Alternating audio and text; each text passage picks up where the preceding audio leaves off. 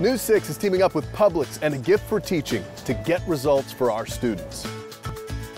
Every year, children go without basic school supplies like pencils and paper. Teachers often have to use their own money to help. But you can give tools for back to school. Just stop by Publix, grab a bag. Which is yours to keep. And with your donation of $5 or more, you can help our students. And teachers. Get the head start they need with News 6. Publix. A gift for teaching. And you.